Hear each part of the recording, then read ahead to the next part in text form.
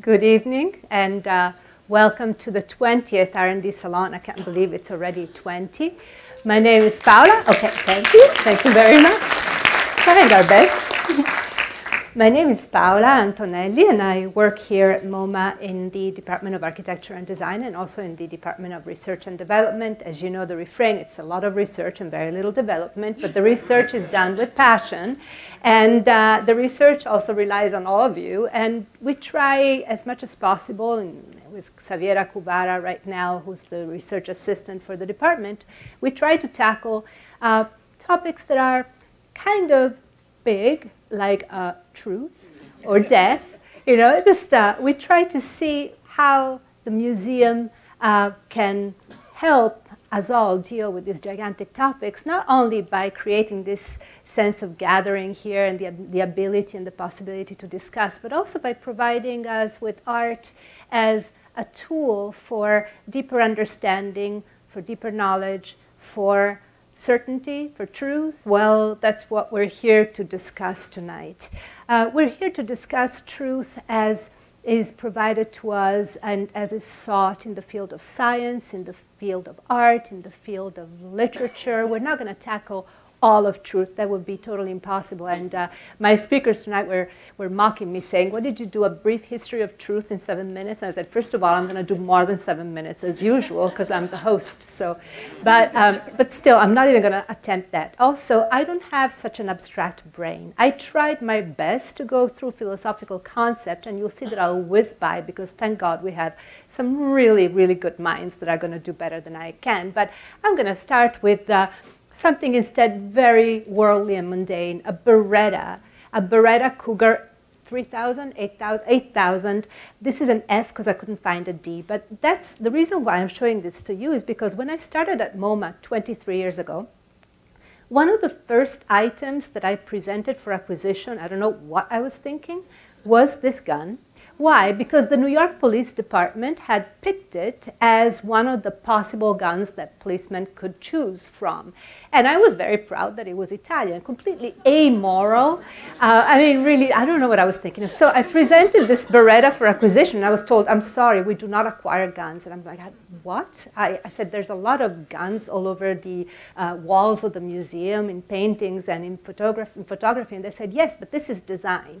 Design is what you see is what you get. The function is the one that is declared. There's a certain truth. They didn't say all that. I kind of deduced, deduct, deduced all that from the rejection, from the refusal. But all of a sudden I started thinking, yeah, design, what you see is what you get. Very interesting. And instead, when you went around the galleries or the museum, these are all photography um, uh, uh, examples that are in the collection, you would see Dangerous Weapon from 1936 or Hand with Gun from 1970, something from uh, a photo documentary from the Troubles in Ireland from 1977, all depictions of guns, but mediated by an art context that would make it so that we would, uh, would reach a deeper truth and a deeper understanding of the uh, immoral or negative or dangerous uh, value of guns, as opposed to a Beretta in a design gallery that is instead honestly just about the function of killing.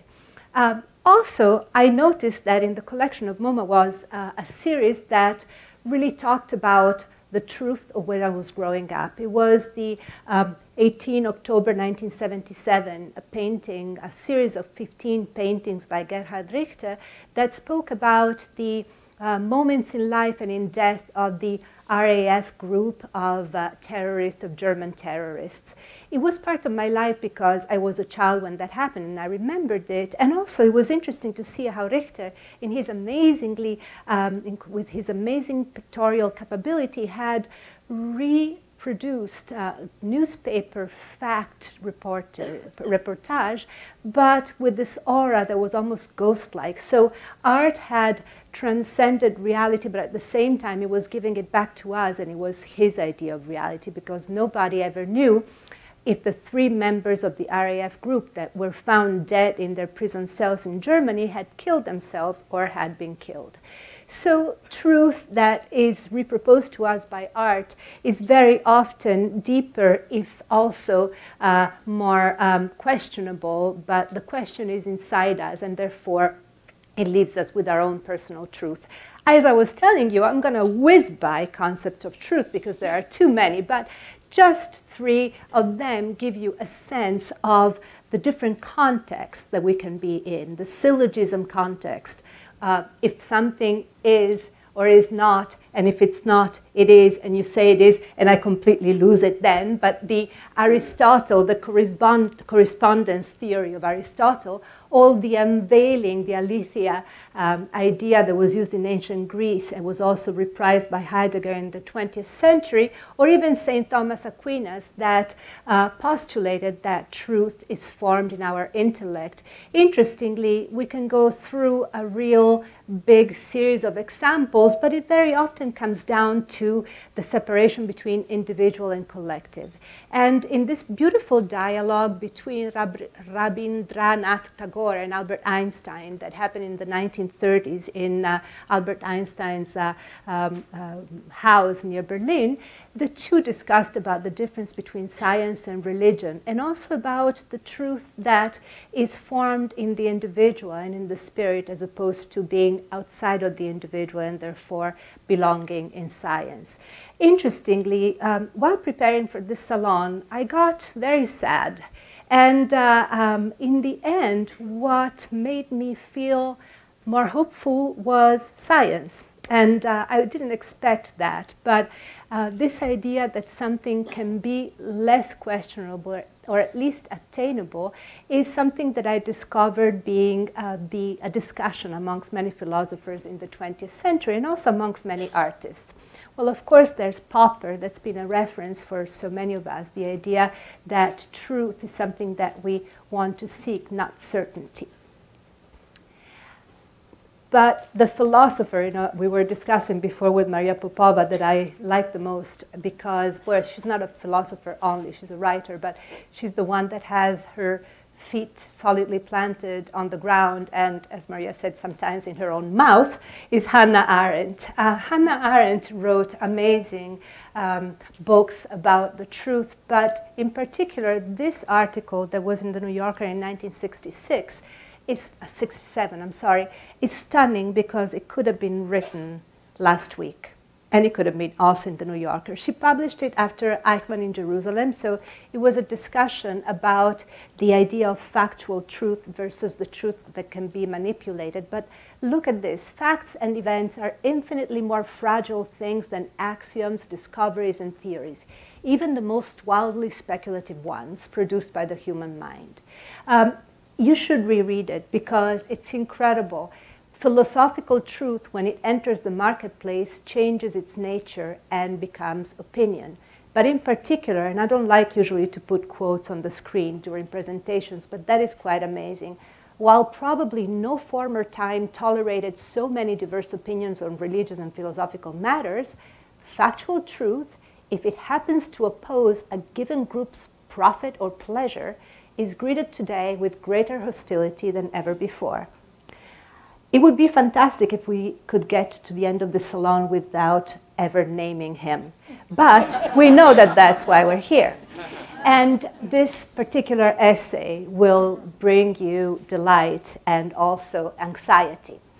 In another, uh, in another piece that Arendt wrote in 1972, Crisis of the Republic, she talks about the importance of bearing witness, the importance of testimony. And in a way, that's what artists can provide, and writers and photographers. And bearing witness, as we know, is one of the essential parts of making history. There are a few examples here from the Truth and Reconciliation Commission in South Africa to Primo Levi and Elie Wiesel to the mothers in Argentina, the mothers of the Plaza de Mayo, and we can go on forever, but bearing witness and reminding people that something happened is very important because, as Arendt says, the uh, ideas and truths are formed in the collective mind, and it's hard to dislodge them afterwards. So one can never really let the guard down. Um, photographers and photo reportages. As we know, uh, photography has been considered for many years as the repository of truth until many untruths were discovered. And there was this great exhibition in the Bronx Documentary Center just last year, I think it was, that talked about how many photographs that were considered real were discovered to be unreal from the most famous Robert Capa falling soldier, which was recently um, found to be questionable because I'm not going to go into detail because otherwise I would take the whole night, but the history is really fascinating. Um, not to mention the same picture of O.J. Simpson that was published in Newsweek and in Time, but in Time O.J. Simpson was much darker, and the, and, and the art director, Matt Mahurin, had to justify his bias in making his face considerably blacker than it was. Um, German Reichstag, Yevgeny Khaldei, completely doctor picture, um, actually even to the point that he scratched the wristwatches from the soldiers because they would have given away the fact that the soldiers were not real. And instead, Paul Hansen, Gaza City, Palestinian territories from 2012, that is an absolutely real picture, but it was slightly photoshopped to give a better sense of the perspective that the eye of the photographer would have and was therefore uh, accused to be false and then proven real. So, very interestingly, Photoshop has become the instrument of falsity. And uh, I was thinking today, much more frivolous, but today is a no makeup Monday, right? And, uh, um, and also the, um, the happiness that uh, um, my colleagues and I had when we found a photographer that took a picture of a bikini for a catalog of an exhibition that we're preparing about fashion and left the stretch marks of the model. And we were like, yay. so interestingly, Photoshop has become almost the enemy. But let's go back to serious matters. Um, in reality, things have not changed that much with the introduction of digital uh, means of expression and information. Because if you see here, um, 1963 and instead 2001, two amazingly important events and two ama amazingly tragic events. When it comes to the assassination of John Kennedy, we've seen one video repeated over and over and over. It was one, and Zapruder um, became really the way in which we would see that particular event. And instead, when it came to 2001, 1901, there were hundreds of cameras and video cameras pointed at the towers before, after, and during. And still, when there was a survey that was made a few years ago about how people stood in front of these two events, there was the same amount of people that believed that the two events were not real. So it doesn't matter if you see it from many angles from only one, it still is something that is then processed within your own consciousness and also within the consciousness of the group you belong to. And that group might be in your filter bubble. We know about Eli Pariser theory of the filter bubble that because of the fact that we can customize the way we get our information, we remain within a bubble that is already homogeneous to what we think. We're not exposed to other truths, in other, in other words. And Yanko Tsvetkov Atlas of Prejudice shows also how easy it is to manipulate the same truth so that it looks like something else. Take the picture. You know, it goes on the video afterwards. I wanted you to take the picture, but I cannot stay too long.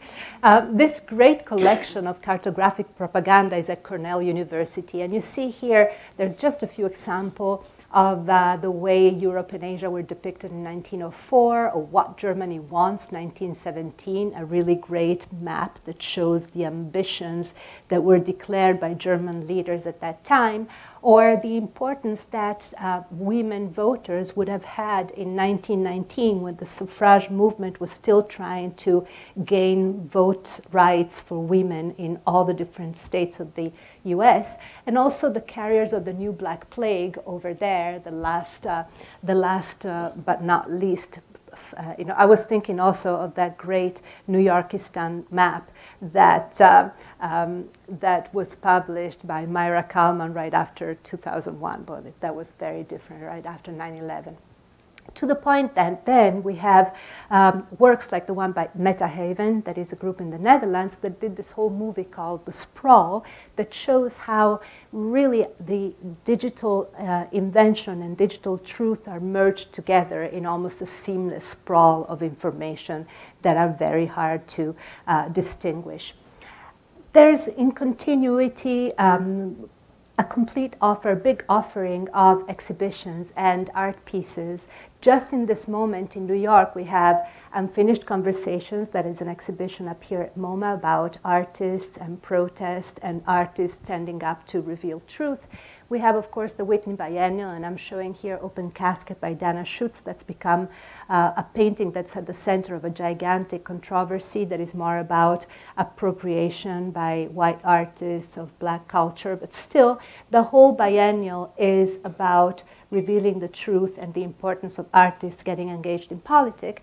And then uh, Raymond Pettibon, a pen of all work at the New Museum, and Raymond Pettibon has been documenting the reality of life in New York and in America for a long time. So at any moment, curators and museums are trying to serve you a dose of truth as seen by artists and are trying to do their best to be good citizens.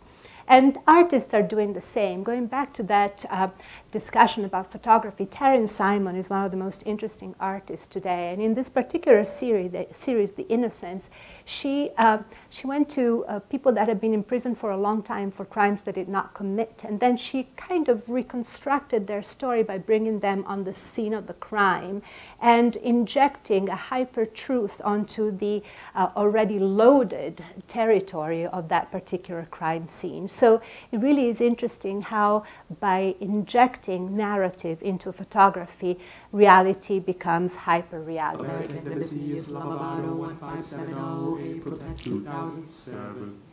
You might have heard about Ted Hearne, Ted Hearne, The Source, which was almost like a play that was all not looping. Okay, stop. Um, that was all about primary sources. So it was about reciting primary sources that were taken by the, the Edward Snowden files that had been released. Not to mention Laura Poitras' exhibition at the Whitney last year. In this particular case, these two quite beautiful photographs are actually the recording, the visual recording of intercepted communication. So uh, truth sometimes takes um, an aspect that we don't know, especially when it is revealed. Um, and for instance, in Mona Hatoum's negotiating table, sometimes truth is also too uh, harsh to bear, too hard to bear. This was uh, about the invasion, the Israeli invasion of Lebanon in the 1980s. And uh, in this particular case, the performance was really about blood and tears, about the semblance of torture, about trying to render what it must have been to feel that particular invasion and to go through it. Artists also are always trying to speak truth to power, and whether they do it in hindsight, like Marta Minujín with the Parthenon of Books, or whether they do it live, like Pussy Riot, or whether they do it by representing, like Brett Bailey with Exhibit B, an exhibition that was closed at the Barbican because it was considered too extreme, artists sometimes need to push really hard in order to uh, instigate the truth. And sometimes they push so hard that they also have to bear the consequences for it. But in truth, art can help. And this is a beautiful quote by Saul Bellow that I stole from Brain Pickings, of course. Thank you, Maria. Only art penetrates the seeming realities of this world. There is another reality, the genuine one, which we lose sight of this other reality is always sending us hints, which without art we can't receive.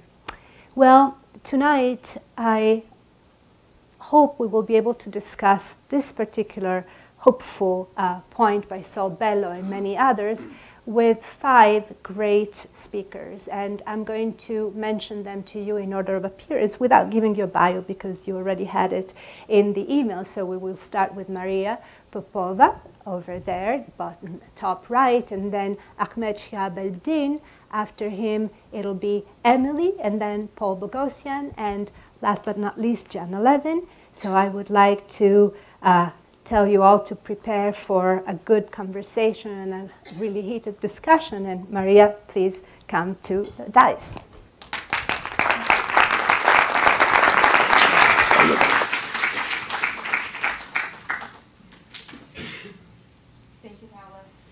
So, truth. Um, a useful way to consider what truth means is by devising a kind of taxonomy of the types of truth and realms of truth. In the physical realm, we could say that there are three types of truth that exist in a kind of hierarchy. So, in the most widespread, most obvious level, all around us are what we call, what we might call functional truths. So, things like the fact that we need electricity in order for light to project the image on the screen. And these functional truths stem from larger truths that come from the nature of reality, which we might call fundamental truths. Truths that arise from the fundamental laws of physics, like the fact that light travels at 299,792,458 meters per second to project the images on this screen. And this limit is something that we know that special relativity has shown us is the maximum speed at which any information and matter can travel, and it's inseparable from what we know about space-time and gravity. And the hope is that one day we might find a model of reality that unifies the two presently incompatible models of quantum field theory and relativity. Here's your old Heisenberg and Einstein up there. Um, and we might call that a final truth or a final theory of truth. Um, some people like the term theory of everything, but um, I find that problematic because it might be that there are things of which we never have a complete theory. So things like consciousness, for instance. Because if there's a physical limit to the speed of light, there might well be a fundamental cognitive limit to human consciousness that keeps it from comprehending itself. So, you know, I think anytime a system becomes self-referential, it becomes susceptible to paradox. And in logic, the most famous example is the liar's paradox, the liar who says, I am a liar. But uh, we can leave that aside for a moment. The really interesting thing, I think, is that this notion of a final theory bears a somewhat discomforting resemblance to the monotheistic religions with their God's eye view of the universe that offers a single cohesive story that explains all of so called creation. But while in religion such ultimate explanations are claimed and then asserted and preached, in science, of course, they're theorized and tested so that if and when we do arrive at a final theory, it would be empirically and not dogmatically. But what's more interesting to me is that beneath this common impulse um, that the religious and scientific inquiries into the nature of reality share, there's a larger point, which is the fact that truth operates rather differently in the human realm and in the physical realm. In the human realm, we could say that truth is what we make of and do with physical truth. And in the human realm, we, we hold truth as a kind of moral ideal. These are um, illustrations from a 1969 children's book called How Our Government Helps Us, known today as How Our Government Used to Help Us. Um, so let's say we want to tell the truth. Of course, we first have to know the truth. That is, we have to discover it. So we discover the truth, we tell the truth. Straightforward enough, but of course, it's not that simple because what mediates the truth telling process is our understanding of the truth. We never really tell the truth, we only ever tell our understanding of the truth. And understanding, and this is where it gets messy because understanding lives in the realm of meaning. So, back to the possible cognitive limits of consciousness, at the very least, we have a definite cognitive bias. We are a storytelling species, and we like reality to come to us in stories that unfold in a sensical way that have meaning. And even on the grandest scale, we expect a kind of cosmic drama that is story like, in which we're cast as actors that have a concrete part to play, that have significance, that have agency and freedom, and most of all, a story in which we matter. And so it becomes quite clear, though, that the more we find out about reality, the more meaningless it becomes, in the sense that no, we're not at the center of the universe, no, the comets don't come to punish us for our sins, and no, the stars don't exist in the astrological service of our trials and triumphs.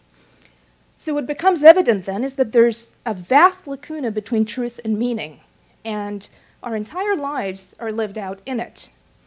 And I think some of the most interesting as well as the most dangerous things in life happen in that lacuna and it matters whether in it we are swimming or adrift. Now, part of our cognitive bias, of course, is that because the truth is not yet known. Our knowledge of the truth is incomplete. We have a civilizational track record of filling the gaps of the unknown with imaginings and with, with artificial meaning, let's say. You know, here be monsters. And when the truth is known but inconvenient, well, we then reformulate it and cloak it in illusion and sometimes deliberate deceit, and that is why facts can become insufficient and give rise to alternative facts. But on the other hand, while we may fear that the physical limits of the universe limit our freedom, limit our sense of meaning, in fact, both freedom and meaning arise from how human wisdom interacts with physical truth. Wisdom being the way we take fragmentary bits of information and fact and integrate them into a framework of understanding and then apply that knowledge to how human life is lived. Every great work of art, every Bach symphony, every Dostoevsky novel, every Georgia O'Keeffe painting has been created by a, a human being, a constellation of atoms that had to obey the same fundamental laws, that had to operate within the same physical limits, and yet managed from within those limits to create something that was rich and meaningful, to take the truth and tell its land and make something transcendent. Virginia Woolf, that great um, cosmic dramatist of human truth, articulated this beautifully in her memoir, Moments of Being, where she talks about the moment in which she had the epiphany that revealed to her what her task as an artist was. And she writes about being in the garden one day and looking at a flower and having this seizure of awareness that the flower is part of the mound of dirt beneath it, which is part of the garden, which is part of the crust of the earth, which is part of the whole earth, all one. So that what she was looking at became, she said, part flower and part earth. And in that moment, she wrote, the cotton wool of ordinary life lifted. And she was able to see that these fragmentary truths about the petals and the flower and the stem and the mound and the garden and the crust and the earth they all cohere into a unified sense of meaning, and it is the task of the artist to bring that meaning to light. And she wrote, Behind the cotton wool is hidden a pattern. The whole world is a work of art. Hamlet or Beethoven quartet is the truth about this vast mass that we call the world. But there is no Shakespeare, there is no Beethoven. Certainly and emphatically, there is no God. We are the words, we are the music, we are the thing itself. Thank you.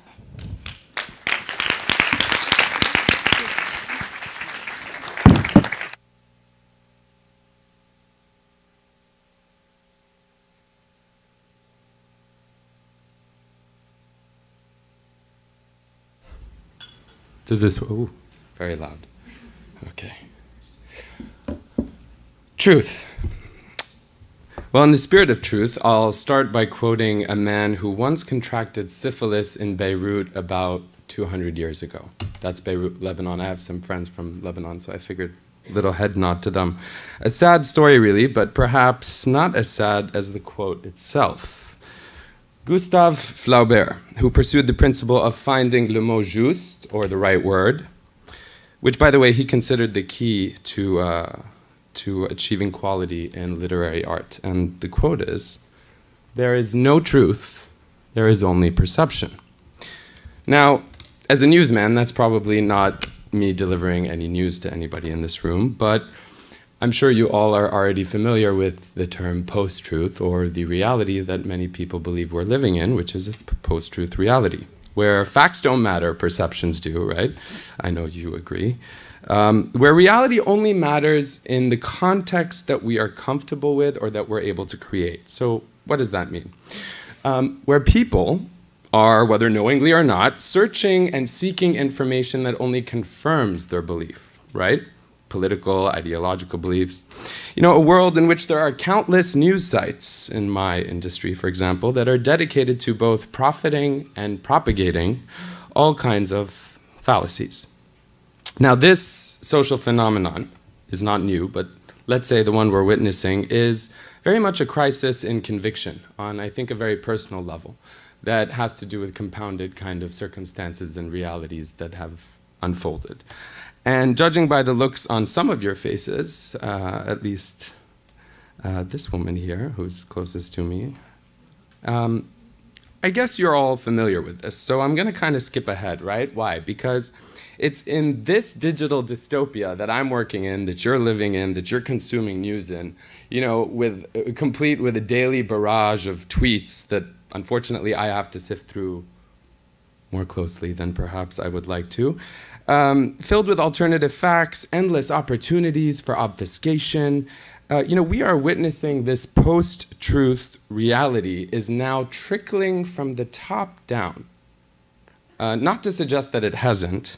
I'm doing my best to avoid he who shall not be named. But, um, you know, these unprecedented protests as well that we've been witnessing, that I've had the good fortune and the pleasure to cover, um, it's not just about these buzzwords and these terms that we've been hearing, right? Inter, what is it? Intersectional resistance and compounded identity, uh, which I think I've always known. I just didn't know it was called compounded identity. I don't know who came up with that term. But if we interrogate why this is all happening, right, we're going to come to realize that truth isn't really what I'm so concerned about. And I would imagine many of you might feel the same way.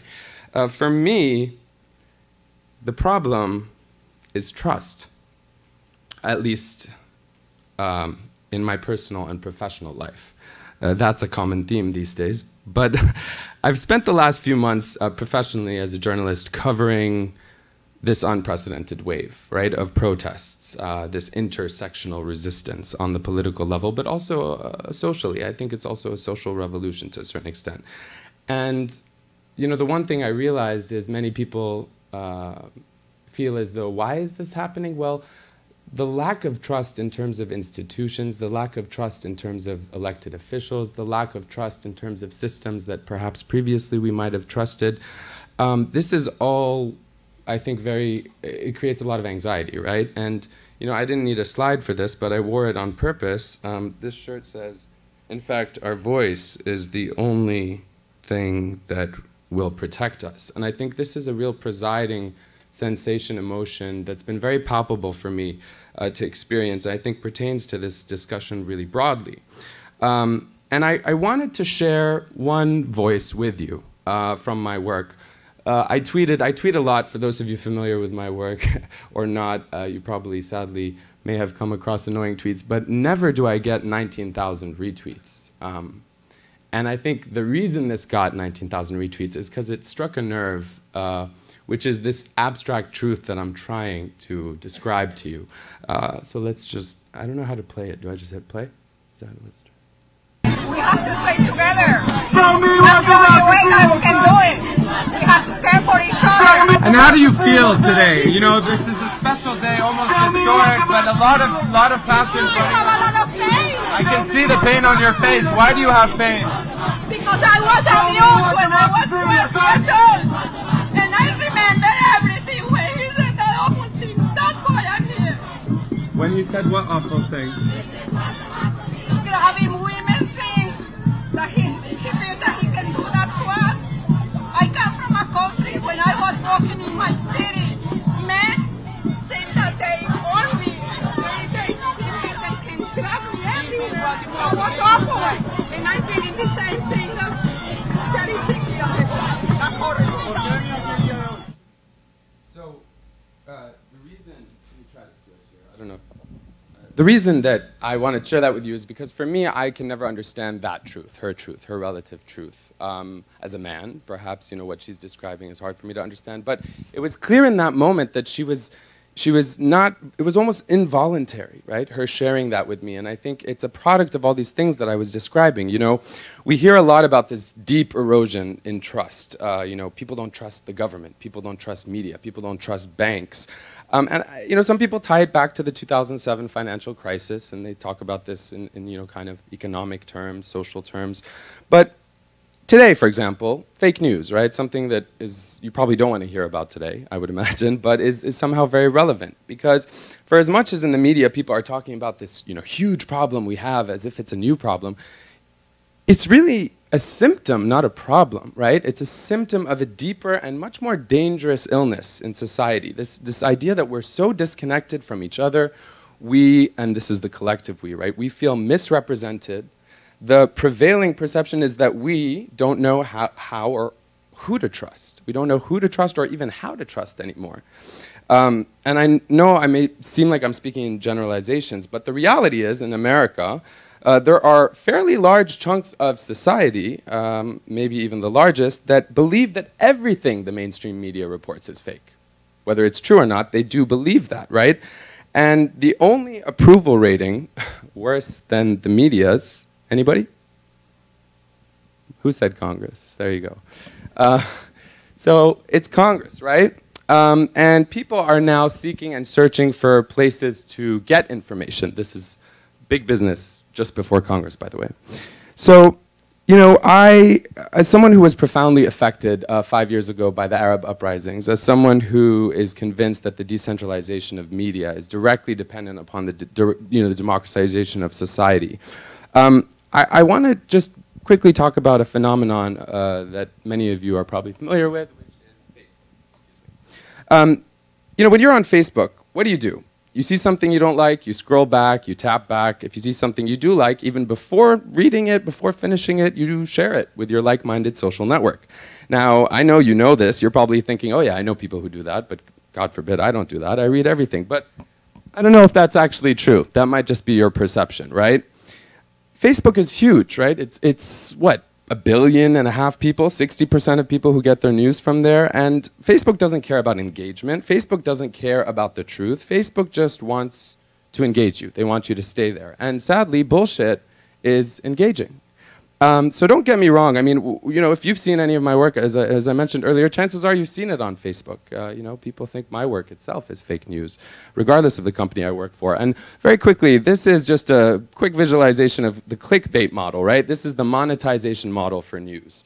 I learned it at HuffPost. Here's the quick 101 crash course. One, find something people are talking about. Two, come up with an outrageous headline that will grab them. And three, just put it in front of them and it will spread. Now, last year, MIT published this. This is a study that found that social networks help conspiracy theories grow. They found that in the online ecosystem, all that really matters is whether information fits your narrative. It doesn't matter necessarily what the information is. And so, at a time when we have an administration that claims to have their own set of alternative facts, um, the bad news is that, you know, when people are seeking the truth, facts help. But that's actually not happening because facts, at least in my estimation, rarely stand on their own. You need to care about the facts. And chances are, if you think about even some of the most fundamental facts you know, there was someone at some point who made you care about that. Now, because uh, I'm a little bit short on time, I was going to speak about how I moved from Egypt, where I spent 10 years, and then moved to Vienna, Egypt being very brown and chaotic. And forgive me for racializing these places, but I feel like it's part and parcel with the times we live in. Austria was very white and orderly by comparison. And so for me, the truths about the way I was living in Egypt and what dictated my possibilities and opportunities and the realities of my life were completely contradicted by the reality of life in Austria. And I was 14 trying to make sense of this, thinking, but this was true there, how is it not true here? So, aha, the truth is relative. So the last uh, point I want to make before I wrap with you is something that's kind of haunted me throughout my career as someone who started at Columbia University where as a 24-year-old wide-eyed student, I didn't understand what they were trying to drill in my head, which is this idea of objectivity. Uh, and something that I think uh, leads to the crisis in confidence and trust in media and in truth today and makes it so hard to, to get to the truth.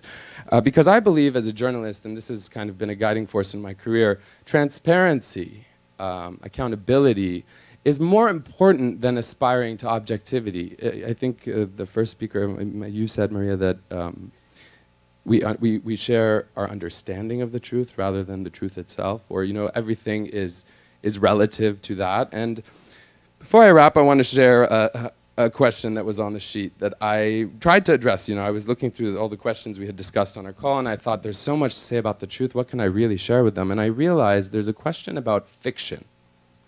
As a journalist, we don't often focus on fiction, right? We focus on facts, or at least in theory, that's what we're supposed to be doing. But the question was, how can fiction help, you know, in getting to the truth? And it's only recently in my career that I've started to think about this because I'm so disillusioned, especially in the last two years with the way you know things are kind of going, that I realized, yeah, maybe there is power in fiction, even maybe more power. Maybe fiction can get to the truth even more than um, facts. And so Um, not to kind of shout myself out, but let me just skip ahead here. How can fiction help? Well, I recently had an opportunity from a young filmmaker who's Saudi Arabian, who's a fan of my work, to act in a short film that he had done in LA. And I thought, well, I'm not an actor, although it would be a much nicer life than perhaps a journalist. And I said, you know what, I'll do it. I went there for three days, and this is a story about the Deir Yassin massacre, which very few people might uh, know about here, but in the Middle East and in Palestine in particular, which is where I'm originally from, it's uh, one of those truths, if you will, that has been forgotten. And so it was an opportunity to play a reporter who is Palestinian American, who gets there, who witnesses the Deir Yassin massacre, meets a woman who was raped, and goes to his editor to say, listen, this is a human story, it's powerful, it's better than going to the battlefield and just giving the numbers of the atrocities. And of course, the editor says, no, who cares about that? Our readers don't care about that. Now that spoke directly to my truth in the past 10 years, a truth that I, on a personal level, have struggled with And quite frankly, don't often speak about because it doesn't often serve my interests when I bring this up. But anyway, I wanted to just quickly share this with you as, as a wrap and then let's see if إلي زمان ما حكيت this is لحدا a عن quick النصارى trailer. واهتم للي حكيته انت بالنسبة إلي الأمل اللي فقدته بتمنى انك تحكي هالقصة للعالم كله على أمل انهم بيوم يحسوا فينا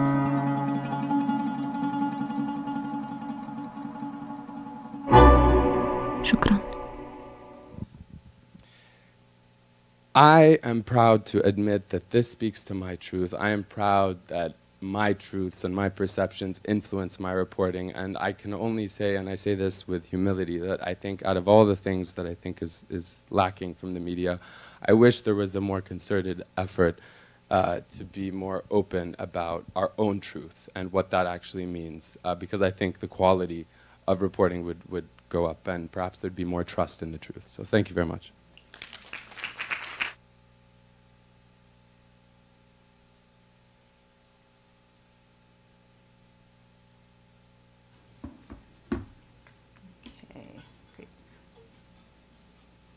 Hi, everybody. I'm going to actually start here.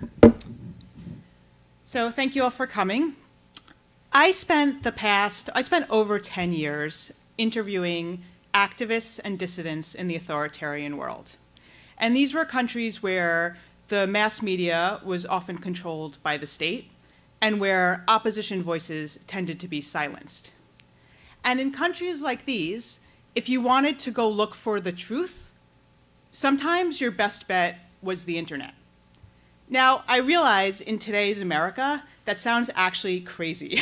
the idea that, you know, right now we're talking about social media's power to distort reality, if not spread outright lies. And here I'm talking about countries where social media actually was spreading the truth. And so I want to give just a few quick examples of how that works.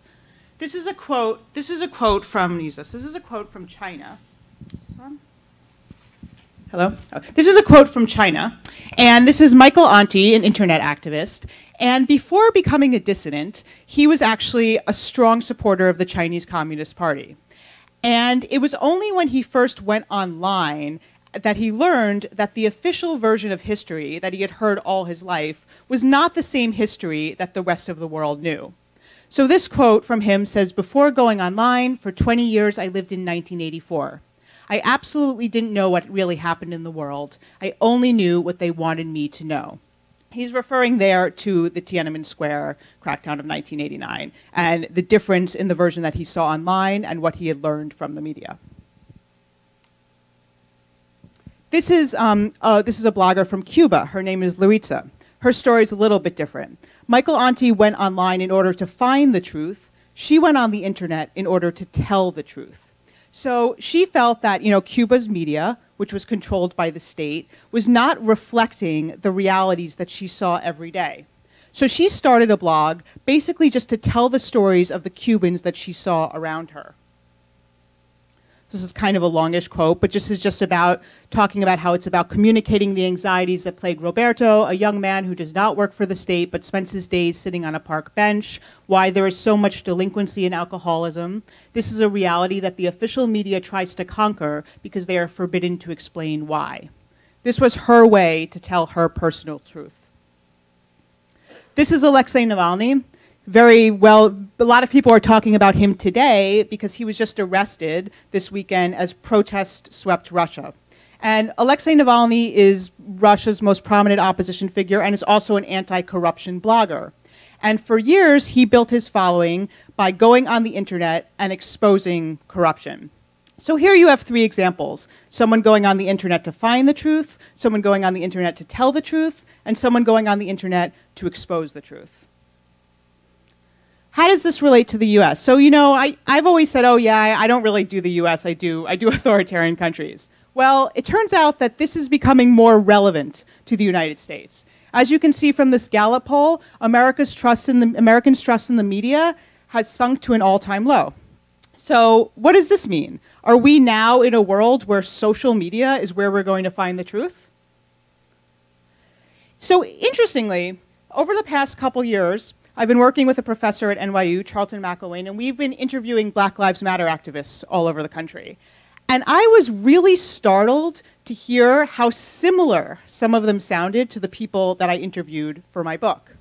So this is an example just from one activist. We started to use Twitter and Facebook and Instagram as a way to just get the word out, to contrast the stark mainstream media blackout. Social media has given people on the ground a voice and a validation as a trusted source. So if you talk to Black Lives Matter activists, what some of them will say is that in the past, the media generally relied on the official police narrative, but social media has given them an opportunity to tell their own side of the story.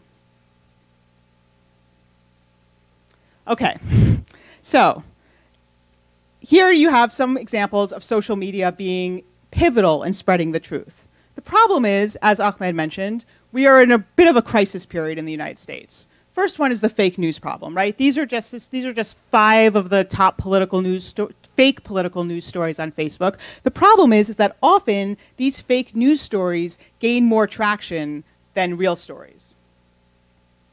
Then we have another problem, which Paola mentioned earlier, which is the filter bu bubble problem. This is the Wall Street Journal does this very interesting thing where they, it's called blue feed, red feed and they kind of it's, it's not real. They just sort of concoct what the different feeds would look like if you were liberal or conservative. So you're actually not going to see the same reality. So, you know, this is an example of immigration. The liberal side is going, liberal Facebook users are going to see, you know, something from Bernie Sanders, basically talk, you know, telling Trump to stop pick on, stop picking on the undocumented, whereas the conservatives will see something about, you know, a tragic story of rape committed by illegal immigrants. So two completely different versions of reality vis-a-vis -vis the same issue.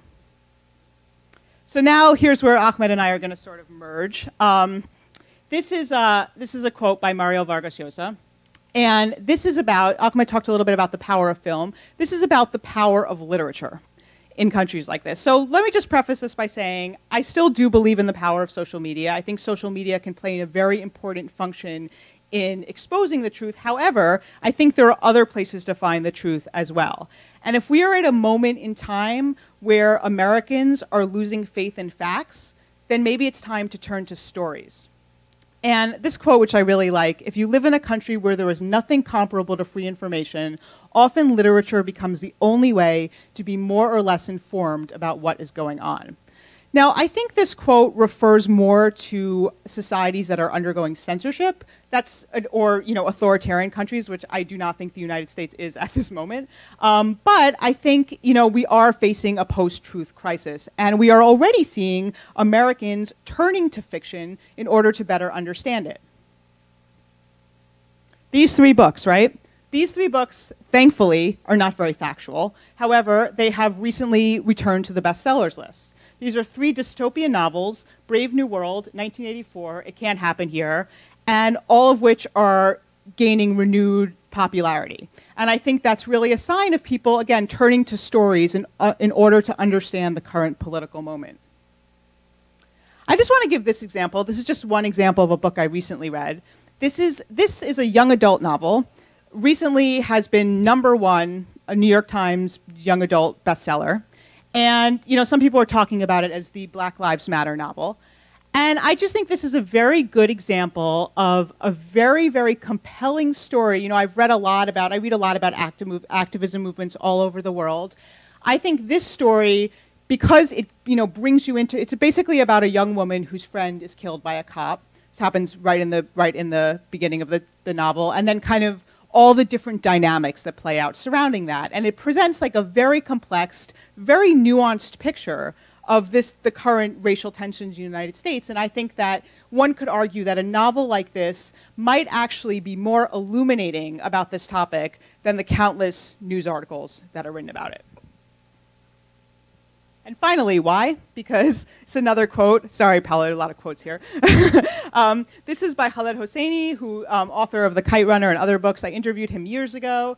Um, and I think this just kind of sums it up really well. And as Maria said, we are a storytelling species, and I think we just understand the world through stories. And people connect a lot with things that are radically different from their own lives through fiction. You can read a lot about a certain country, a certain culture, but fiction lifts you out of your chair and gives you an immediate access, immediate pass into that world. Thank you very much.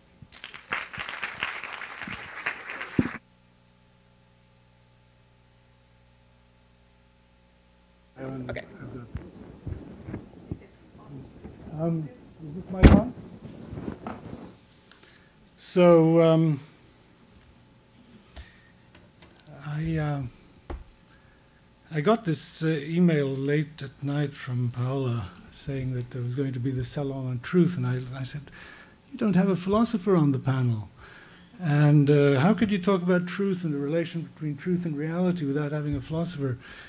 Well, maybe there is an answer to that, which because uh, philosophers, I think, think about these issues in very, very different ways from some of the things that um, I've heard some of my co-panelists say.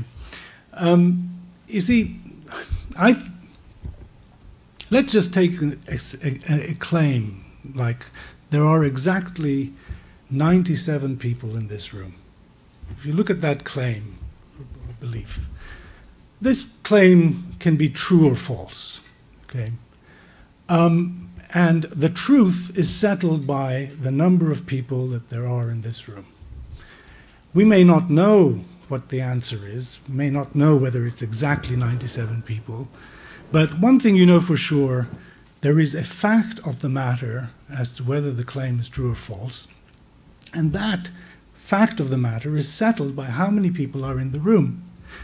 So, one thing that uh, would not make a lot of sense intuitively is to think there is my truth about this, and then there's your truth about this. Okay, um, so when people reacted with horror at Kellyanne Conway saying that, you know, some people thought there were more people at Trump's inauguration than there were at Obama's, and other people thought there were more at Obama's than there were at Trump's. And you know, these are alternative facts. Okay, that notion makes absolutely no sense.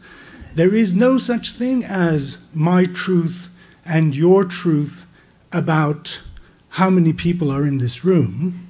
There is one truth, and we can establish it, in this case, quite easily by counting. Okay, but the, the, there isn't such a thing as perspectival truth when it comes to claims like that. In fact, I would argue that the notion of a perspectival truth or a relative truth makes absolutely no sense in any interesting case. Um, but yet, you see, we're all up in arms about the alt right invoking the notion of alt facts and yet, many of the people who spoke prior to me were very comfortable with the idea of my truth versus your truth, or many kinds of truths, uh, and so on. Um, in fact, before uh, the notion of alternative facts, alternative truths, alternative realities became popular with the alt right, they were very popular with the mainstream left. Uh, and I say this as somebody who's very sympathetic to leftist ideals. But if you have been in a university and have taken a course in the humanities or social sciences over the past 20 or 30 years, what you were probably taught is precisely that there is great reason to be suspicious of the notion of the truth or the objective truth. Rather, there are truths for different communities or truths for different people, perspectival truths. Um, and of course, once this is taught in universities for so many years, you're bound to find that it's going to seep into the wider culture, in particular into politics. Now, why is it that the notion of relative truth, of suspicion of the objective truth, um, became so popular with the left? Well, there were some good motivations. One motivation was moral and political, and that is that the notion of objective truth had often been abused.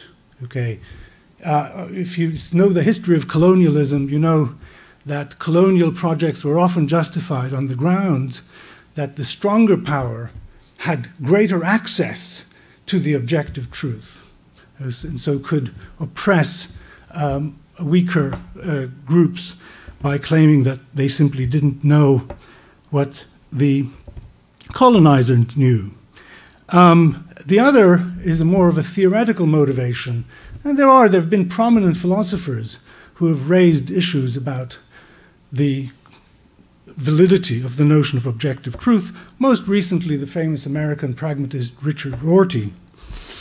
Now, as far as the political motivation goes, it's a very unsound one, because even if you can protect the views of oppressed minorities by saying, don't invoke this notion of the objective truth. There is your truth and there is my truth, and you can't impose yours on mine. There is a much better way to do that, which is to say, it doesn't matter if somebody has better access to what is objectively true, it's still morally impermissible to ram that down somebody else's throat, uh, no matter what they uh, think of it. Um, so there is a moral way of blocking the abuse of a good concept. You don't have to throw out the good concept in order to do that. And theoretically, um, the motivations that people had um, were that, you know, it seemed as though if you were committed to the objective truth, you were committed to there being only one correct way of describing reality. But that is, of course, not an implication of the idea of objective truth at all. There can be more than one correct description of reality, absolutely. Just, you know, there can be, it can be true that there is, um, there are 97 people in this room, and it can also be true that among the 97 people in this room are three philosophers, and four of them are from, uh, four of the people from in this room are from uh, Indiana. There are many, many different correct descriptions. What objective truth doesn't allow you to say is that two descriptions that are mutually incompatible with one another can be equally correct, as, for example, in the alt facts about the size of Trump's crowd. So, um, and furthermore, you know, one of the things that people worry about with the notion of the truth is who's to say what's true? After all, as some people have said, we process the truth in different ways. Uh, now, doesn't that mean that there isn't such a thing as the truth after all? The answer is no. You may count the number of people in this room and get one result. I may count and get another result. This is a conflict in uh, views about how many people are in this room. Um, and if there is such a disagreement, then we're going to have to do the count over again. We know what methods we need to use in order to settle that question, and even if it's unsettlable, as may be the case in certain cases, that doesn't mean that there wasn't a truth of the matter to begin with. Um, and so I don't think, you know, if you really want to be. Um, if you, if, you, if you take umbrage at this use of the notion of alternative facts, it can only be because you actually believe that there is such a thing as the truth. Thank you.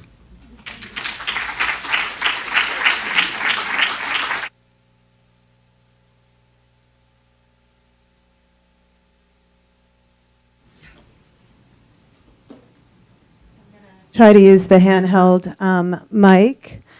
Um, this image I'm starting with of the universe is not one that we can actually see. This is a picture of our galaxy that's collected from real data collected by light. Very nearly everything we know about the universe comes to us from light. We see the galaxy not from the outside, but from within. This is closer to the perspective of our Milky Way from the third rock um, from the sun, which is where we're bound, collecting information about the universe. I remember when I was um, uh, very young, looking out my window in Chicago at this universe. My view of the universe was very unspectacular in comparison, know, just a few urban flecks. And I remember wanting to know what else was out there. And I remember learning that the Earth is round. And I thought we lived inside the sphere. And I was really amazed by this. This was my first failed cosmology, but unfortunately not my last failed theory, but it was my first failed theory. I thought we lived inside the earth, and I was so astounded. I could almost imagine the eggshell of the sky from where I, I was looking. And I remember when I learned that actually, yes, the earth is round, but we live on the surface of the sphere.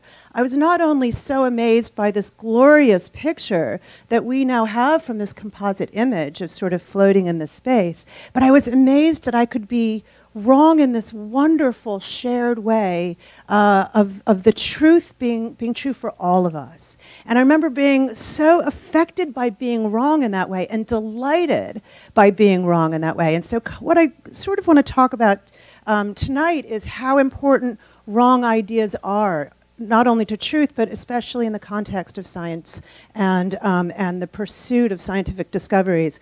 Um, we all um, have our different uh, prejudices about science, but I, I want to emphasize that I also thought around the same time in my life, actually, that all physicists, I'm now a physicist, all physicists just memorized facts and simply recited, you know, a list of, of facts that they knew. And I thought there was nothing less creative or interesting or imaginative than being a physicist. If you had told me I was going to be a physicist, I would have been deeply offended.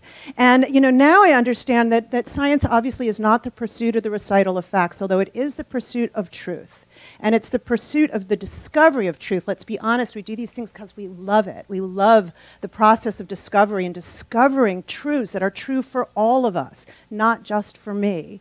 And it's that process of discovery that's so exciting in science. And to never be wrong means you're simply not you're not being a real scientist. And, and not only must you be wrong sometimes in the pursuit of truth, but sometimes the wrong ideas have pushed the true ideas further than anything else.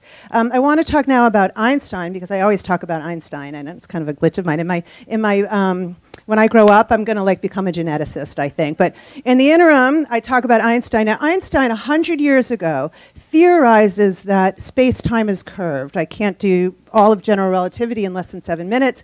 But immediately after he writes down his grandest achievement, the general theory of relativity, he thinks, look, if things like the sun curve space and time around them, then when the sun moves, or let's say two suns orbit each other, they must create waves in the shape of space time. After all, those curves have to follow the sun. And as was mentioned, um, nothing can travel faster than the speed of light, including the information about where our sun is, or where our moon is, or where our Earth is. So if the sun moves, or the Earth moves, or for that matter, if I move, the curves I create in space-time must move around me, creating waves, gravitational waves. He was not thinking about black holes. He was not thinking about the Big Bang. He was not thinking about the expansion of the universe. He didn't believe any of those things were true, even though at least one of those things, namely the existence of black holes, had been pointed out to him. He didn't think they were real. He thought the most important thing to turn your attention to was this idea of these gravitational waves.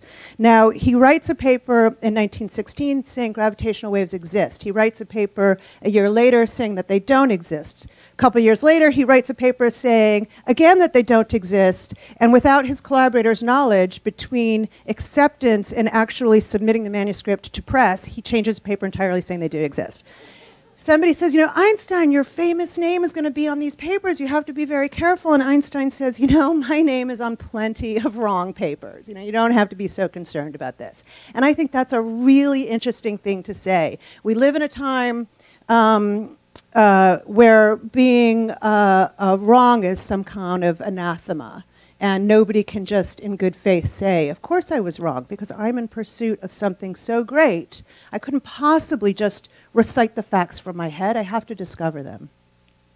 Okay, so they're still struggling with the existence of gravitational waves, and here comes Joe Weber. It's the late 1960s, and still by 1960, there's no concrete evidence or definitive evidence that black holes exist. There's certainly no definitive evidence that gravitational waves exist. People are still arguing about the existence of those things. Here comes Joe Weber, who's this lone, brazen pioneer, and he decides, oh, these theorists are wasting their time with calculations and arguing. I'm simply going to go outside and have a look around. If gravitational waves are real, I'm going to discover them. He makes an instrument now known as a Weber bar. It's kind of like a tuning fork. If space time waves around, starts to oscillate around this Weber bar. Now, now realize these waves come from unknown sources. He hasn't even tried to uh, uh, conjecture what they are. They, they could come from very far away across the universe, but once they, they slosh over the Earth, they will ring the bar like a tuning fork wildly exaggerated, but that's the idea. Joe Weber spends about 10 years nearly single handedly designing the Weber bar and, um, and his bar begins to ring daily in response to sources, sources from the center of our own galaxy, that image that we just saw. He goes to a general relativity conference where the very existence of gravitational waves were still under debate, and he presents his findings that he has discovered gravitational waves. It is the discovery of the century. Einstein didn't even know if they were real, and he has detected them. So he becomes the most famous scientist of the time. He's on the cover of magazines. He's heralded, he's applauded, he's celebrated. Pretty soon there are Weber bars all over the world. They're in Japan, in Moscow, they're in Italy, they're in Scotland. Um, there's, they even put one of Joe's instruments on the moon.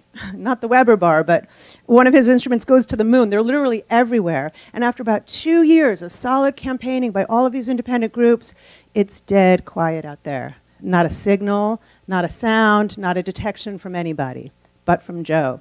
Joe becomes completely maligned. He becomes um, a, a sort of uh, completely marginalized figure and um, kind of uh, a, a figure not only to be scorned, but, but but the world becomes cruel. They want to expose him. It's like they, they, they kind of hunt him down. They tease him with false discoveries only to expose him publicly as a fraud. Um, now, I don't believe that Joe was a fraud. I believe that he was making a, an honest um, error in his statistical analysis.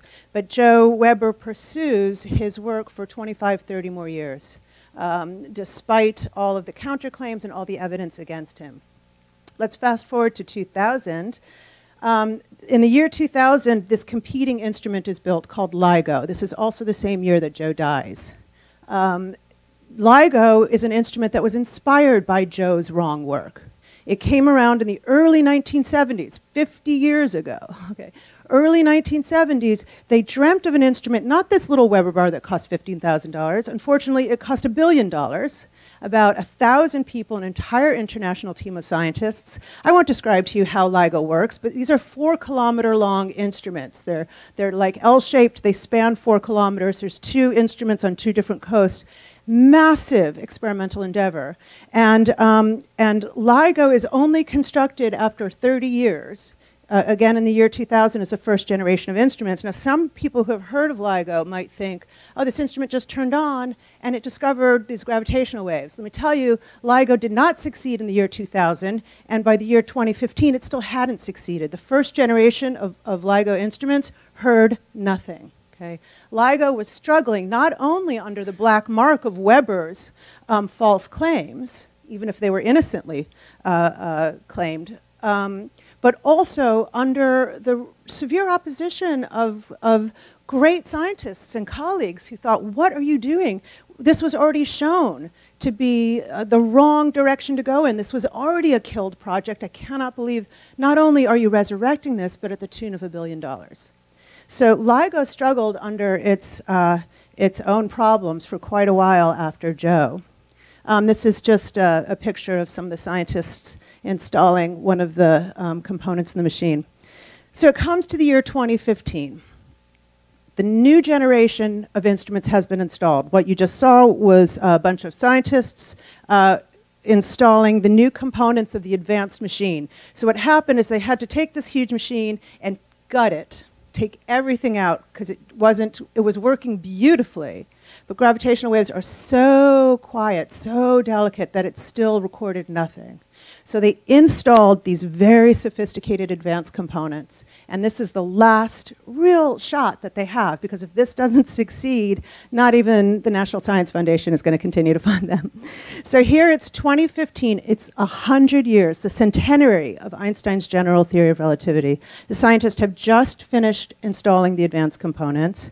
It's the middle of the night on September 14th, and they're supposed to start their science runs, but they're not ready. The, they're, they're behind schedule. They're not quite completely ready. They decide to postpone their science runs. They're working in the middle of the night. And on both sites, one in Louisiana, one in Washington State, they put down their tools, exhausted, they decide to go home.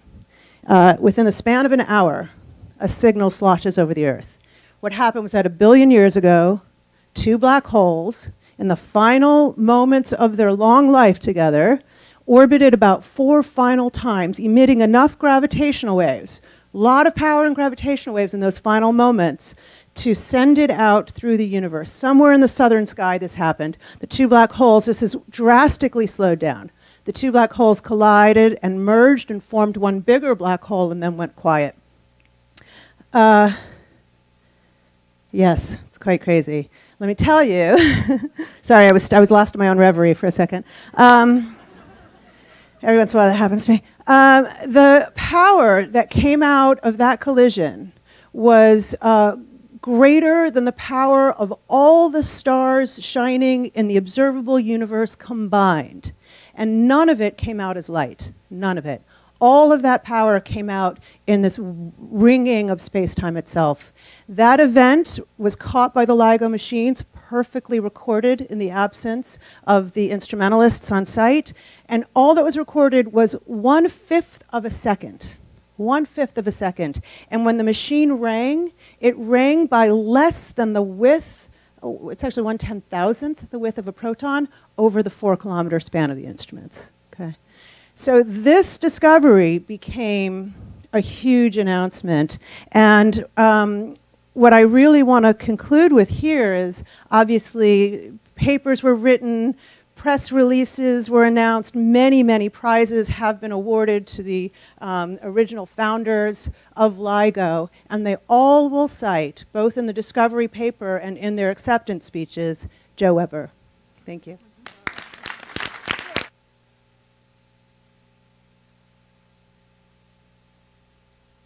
To be there because your mic goes there, Yes. I go here, and everybody else can sit wherever you want. Yes. hmm Okay, so you keep this because you're the one that doesn't have it, and you go there. Well, thank you very much for these great, great, great contributions. So, Janna, where was the truth in all that? There was a lot of stubbornness. Yeah. And uh, so, Well, what I was the think truth? so. I think um, what we get from that is exactly the lack of relativism in the truth there, because as much as Joe wanted the narrative to be true, you know, Joe was also um, one of the discoverers of the maser, the laser. Originally under a different name, Maser, and he missed out on that discovery as well. He missed out on the Nobel Prize, on the money, on the acclaim, and there was there was one other occasion. Um, Joe was very close to proposing uh, the the experiment to detect the light left over from the Big Bang, the cosmic microwave background. And so I think in this case, he just, the, it, the loss was too great to give up on this. And I don't think um, that even if that's what the narrative he preferred, that all the world watching could possibly confirm it for him as much as he wanted it to be true. And that's, that's you know, the impact of having to not only admit that you're wrong, but be rewarded by the knowledge that the truth is universal. It's mm-hmm. true for everybody. Mm-hmm. But nobody could say, I mean, there were not, it, it was not like there were 96 people in the room. That was something that was an intuition of truth. Huh? Exactly? What did you say? I said 97. 97. 97. I'm so sorry. but it's really fascinating. So, do you have questions for each other? What did you all think about what Paul said? What? Well, obviously, Paul set, set it up so I didn't. I could just brazenly go ahead with the truth because thank you great. for yes for validating that perspective, and then I charged ahead. One, by the way, one, I, I would have thought one thing you would say in response to is that um, you know it showed that there was such a thing as vindicating the truth. Wait, because the audiovisual Ah, guys are gonna be mad at me because I asked for the lavalier. So, Maybe I should get rid of it. okay. Keep it with your hands like that. Yeah. Use it as if it were a normal microphone. Yeah. this this is not a very good image, but okay. Um, and it, it, the theory predicts something, and for a long time the confirmation of that prediction is not there, and then suddenly the prediction comes in. That's the that's the vindication of the truth. It's been- Well, also, I mean, Einstein didn't believe that black holes existed for good reason. I mean, those were really good reasons. It was completely logical and sensible to think nature's never going to find a way to crush matter that severely. He thought the mathematical description was perfectly valid. He was very impressed with it mathematically. There was no doubt about that. But would nature find a way to do this? It's completely reasonable to conjecture no. And, um, and yet, here we are in a time where we hear black holes collide even when we can't see them. Well, I think it's interesting to differentiate between the kinds of errors that um, erode truth versus the kinds of errors that self propagate and advance truth, because oftentimes we call an error something that is in conflict with the status quo and with the established order, when it, in fact it can be a challenge that grows it. And Weber didn't have much to go on either way. To, to, but what we call errors, I guess, is inevitably how ideas propagate to begin with and to advance to a new level. Um, but what is the point at which, I mean, what would have, what should have happened in order for him to quit? Well, I mean, there's this painful letter that Freeman Dyson, the famous um, scientist uh, Freeman Dyson, writes to Joe, because he really encouraged Joe and he was really excited about his project. And he writes him this painful letter, essentially saying, "You're a great man, and a great man can admit when he's wrong." And um, and the letter goes ignored, but it's it's really hard to read. So um, I wanted to ask Ahmed something about the uh, about what Emily was discussing. You know, the digital can be used in many different ways. It can be used for transparency. It can be used to reveal the truth. It can be used to speak the truth. So, in your uh, you're almost like a digital native as a journalist, right? Yes, more or less, So yeah. you, so how have you seen life in journalism without paper, um, and uh, how connected is it to the ground and to the truth? It's a great question, and it's, it's one that I've spent 10 years answering and don't know the answer to. But um, I prefaced it with that because, like any new technology, like any new invention, like any new thing that we use, and I, hard saying this sitting next to a philosopher trying to sound like I'm philosophizing, but what I think you find, perhaps, I could imagine, one would think. Um, uh, no, but you know, it's, it's that um, you don't necessarily see the full extent or the full possibilities in which you can use it. So when social media first came around, when blogs first came around, there's kind of been this hurrah, this championing of decentralization of information. And back 10 years ago when I graduated from Columbia, I went to a lot of, you know, I was working at the New York Times, a whole bunch of places. Part of the reason I was hired a lot of places was because, oh, that guy's the native guy, the digital guy, he gets it. Um, of course, uh, whether I did or not isn't the point. The point is, I think a lot of people were excited by these ideas of engagement and interactivity and live. And here we are, Facebook Live, you know, we're living in a different time, obviously. And all of those, I think, have led to these protracted problems we have when it comes to trust and, and truth. That said, um, there was a very particular part of my career, and I hate to be so self-referential, but the reason I am is because there was a time when I really believed, you know, I was kind of more, what would a philosopher say, more naive, perhaps? I don't know. I was more That's what a philosopher would say. Never. Yeah, That's naive. judgment. See, clearly I don't know what I'm doing. But, you know, uh, I was more naive in thinking that um, it's a force for good, you know, this connectivity. Uh, because as a reporter who was based here, I would, you know, travel to the Middle East. And Twitter at the very beginning was like a Rolodex for me. I was intimately familiar with what was happening in a very specific neighborhood in Turkey and Nigeria and places I had gone, and also people who I had met at conferences and shared real, true moments with. And the reason I, I say all these anecdotes is because that to me was kind of what stood out and made me perhaps stand out um, in terms of my abilities to quickly confirm within a margin of error. Now I'm, I'm scared. I'm going to turn this out. I did it to myself. but within a margin of error, you know, I, I felt like I had access to people in, in journalism and media and storytelling, access it, and, and it develops credibility, as you know, um, especially in this day and age when there's so much information out there. So for me, what it's been like is um, it's been a wave of being inspired by possibility, and now in the last two years, as we talked about, a little bit disillusioned by, you know, the fact that in reality, the bottom line isn't truth or even impact or the things that motivate me as a storyteller, which is shifting perceptions. It's often money and clicks. You, you said that you were a bit in a crisis, and uh, yeah, so it's it's very interesting. I guess there's a lot of depth, of personal depth, to thinking about truth, and. Uh, um, Emily and I had this brunch at the Odeon, I want to be precise, you know, just uh, a few months ago. And uh, I had already been thinking about a song about truth, but then during my uh, brunch with Emily, it became about fiction and truth. And for some reason, I always thought fact and truth, not fiction and truth, because I don't read that much fiction. And you said instead you want to start writing a novel, which is something that Janna already also did. You know, as a scientist, you also decided you wanted to write a novel. So, um, can you tell me more about? Did you decide to write a novel because you wanted to? Move into a new phase of your truth seeking or? Oh, thank you so much. Um, oh that's a tough question. Well i think that i've always believed in the power of fiction to tell the truth. I've always thought that and it's almost more like i was working up to write a novel. I actually think novels can be a better way of telling the truth than nonfiction. I think it depends on the kind of reader that you are but i remember when i was in college I took a comparative literature class, and it was about the conflict in the Middle East.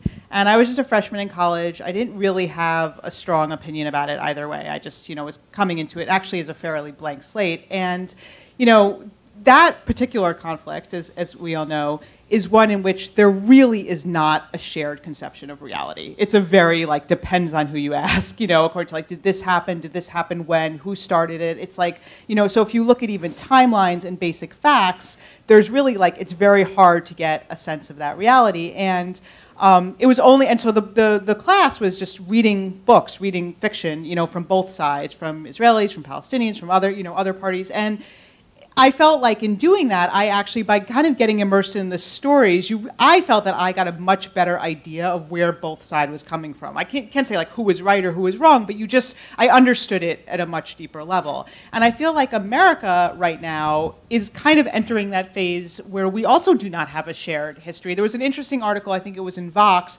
where somebody was saying that, you know, in the future, we're not even going to have a shared sense of history. Because right now you look at 2016 you look at 2017 like there is not even agreement on like how many people were at that inauguration you know? So so i think like and, and, my book is in my, my i'm working on a novel that is set in america and is very much about politics and government. It's very fictional but for me, I think it's a it's a more effective vehicle for understanding what's happening in. Okay. I just wanted to quickly add, as you were speaking, I couldn't help but think of semantics and words and word choice and why it's so important. And I, I don't mean what you're saying, but based on the two comments you guys mentioned, you saying that the speakers before you were very comfortable talking about my truth, and then you now saying that fiction you found is maybe even more powerful at, at telling the truth. But then I thought, well, and I'm again, forgive me, I maybe it's contagious. I'm all of a sudden realizing I'm pseudo philosophizing, but maybe it's so important because when she said that, I was like, well, when you say truths, it's like also for me in reporting, it's like, what does truth mean?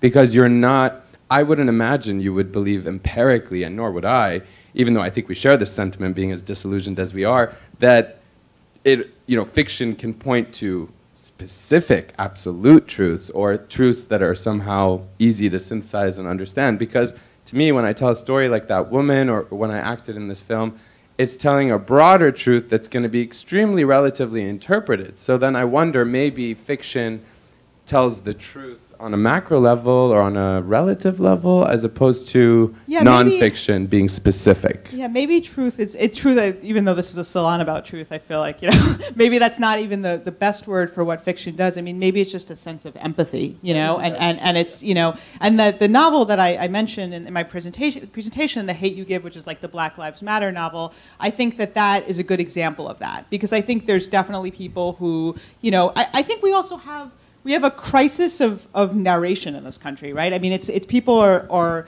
don't trust the narrators. They don't trust the media to narrate. And I think sometimes, you know, novels, I mean, obviously novels can be politically biased and they can have an agenda for sure, but sometimes you might be able to enter a novel with a more open mind and be willing to be more empathetic in a way that you wouldn't when, you know, you open a newspaper because right now, again, depending on who you ask, like this newspaper is too liberal, this newspaper is too conservative, people think that the media has an agenda. Maria, you wanted to say something? Well, to all of that, um, I think one thing we kind of know intellectually but emotionally systematically put aside is the fact that our models of truth are invariably maps. And maps are not reality, maps are representations of reality. So take, for example, a person and, and your model of the truth about a person is a map onto which, as you get to know them, you plot their likes and dislikes, their values, their vulnerabilities. It's your own map or it's, your- an objective map? Well, the way you model the truth about that person, You make your own you map. make a map based on every interaction, you fill it in, and the measure of how well you know that person is how well you're able to navigate the landscape of their personhood and of the relationship using your map. So each time it's tested against reality in every interaction. And let's Mm-hmm. but say there is a truth. You have a there is a truth, but you're mapping it, and, and Yeah. that's how we understand. That's how we plot all of our understanding of truth. So if if there's somebody you say is some okay, I know this person really well, I Mm-hmm. trust my map is accurate, right? And then you encounter a piece of information that is radically incompatible, so much so that it asks you to redraw the map in such a way that you replace a mountain with a valley. So then the interesting thing that happens when we every time we go through one of these, we have to go through a decision tree in which we evaluate is this information likely to be correct or incorrect?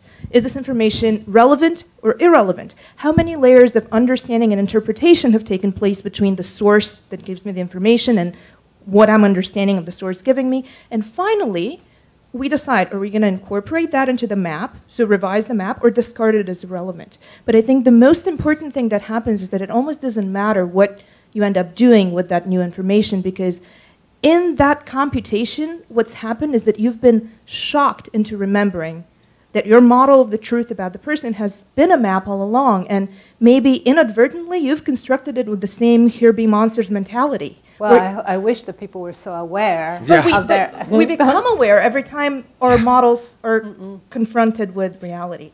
And, and that can be a very deeply discomforting and Yeah. awareness that causes great suffering because we crave completeness so intensely. And every time we're reminded of the incompleteness of our models, we suffer. Oh, that's the, the, the round. Well, I don't know how to say it in English, but Parmenide. Um, what do you say to this, Paul? You know, you know the Um, which bit? Let's see. Um, look, the um,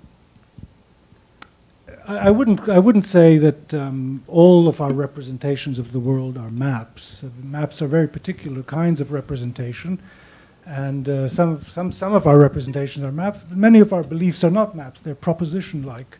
They say this thing has a certain property, this thing has a certain cause, this thing has a certain origin, and so forth. Now, the, the really crucial thing, I think, and you know, even Hannah Arendt, your great hero, she, she made this confusion too. It, there is the, the truth. She didn't make any confusion. I'm sorry. I will say what it is. There is when we say the truth, what we mean is the things that settle whether our beliefs are true. Okay, that's reality. Reality is what fixes what's true. When we make a claim, our claim can be true or false, and it is true when it says the way things are, and it's false when it says how they're not. That's what Aristotle says. To say of what is that it is, and of what is not that it is not, You is can to say, say it. I cannot say it. Yes, it's a beautiful thing. It says that is all you need to know about truth. It is to say of what is that it is, and of what is not that it's not. Then we look at the. Then, of course, we have the question. Well, which, which is it? Is it true or is it false, this belief that we have? That's about knowledge. That's about ascertaining whether the truth. But isn't knowledge the measure of claim against evidence? Yeah, the, so knowledge for me is justifying what you accept as true. And we are often in a position, now justification is fallible. We can be very reasonable, as Janna was saying just a minute ago. We can be very reasonable in believing something false. When the pre-Aristotelians believed that the earth was flat, you know, they were justified in believing that. All the observations that they had made suggested that the earth was flat. It took a genius like Aristotle to realize that facts about what he was observing in the heavens implied that the earth had to be spherical. Now, the, the earth is either spherical or flat. Some people believed it was flat. They were reasonable to do so. They were wrong. Okay? That's about discovering the truth. Mm-hmm. Finally, um, there is the question of how you communicate the truth. Uh, what are the mechanisms by which you most effectively communicate what you know when you know it? Uh, what are the mechanisms that get in the way of that? What are psychological aspects of, of, of people that prevent them from seeing the truth, and so on and so forth? Janna, but these are three. Yeah, sorry. No, I, I think I'm about to say something completely naive that I should probably keep to myself. But, no, um, but it's something like um, it seems to me that there's certain things about the world that we can't just have true or false propositions about.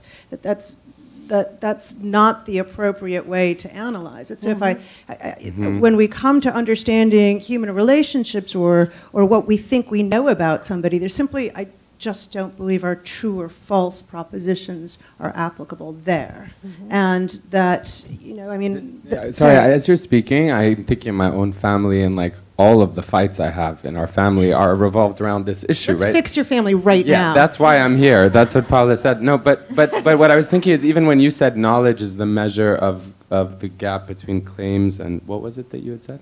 Well, the, the, it's the measure of measurement of, of, of between claim, claim, against evidence. See, but I feel like that's, and, and this is, I'm very saying this very humbly, I feel like that's extremely narrow and a bit arrogant because that's actually not very humble. It's not humility, that is the definition. Go for no, it. No, not what you Naive, said. Naive, arrogant, and humble, yay. No, but it could be a product of my limited understanding, in all seriousness. But, but why I said that is because it's touching on what you're talking about, but about humanity and about things that are um, true in context when you add a whole bunch of different observations or uh, sensations. Because even in reporting and communicating information, I feel like I was trying to think about what you said, the, the measure between a claim and then reality. But that, that's then to suggest that you can only gain knowledge when you compare that which is claimed with what is observable, like, you know, empirically something you can observe. Well, I'll amend that by making very clear that I think observation is actually tricky because common sense and truth need to be unmoored because we used to believe that Earth was flat because it came from our sense perceptions of common sense. Well, we're standing here, it looks pretty, you know, everywhere I look, nobody's toppling over, it looks pretty flat. Right. And that's also the reason why I think gravitational astronomy is so profound because everything we know so far, all of our sense of what is true of the universe has come from what 480 years of light that, that has come to us, of observation through this one sensory mechanism. And now we have this whole new frontier that can tell us things that contradict our sensory right. intuitions, that reveal levels of truth that are not the same as common sense. And that's because you have that macro context where, you know, gravity or the world being round or flat, you wouldn't know being here, but being far, you see it and you understand it more complexly. But I don't know. We didn't solve our, my family problems, but next time. Yet. Janna? Uh, no, I didn't actually ask. Oh, okay. I was just chiming in. Sorry.